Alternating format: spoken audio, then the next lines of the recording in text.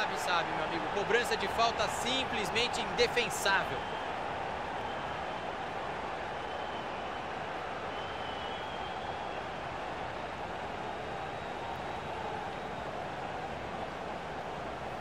É muito bonito quando a bola bate no travessão e entra com força. E por um momento eu achei que não fosse entrar, Thiago. Vale a pena ver esse gol de novo por outro ângulo.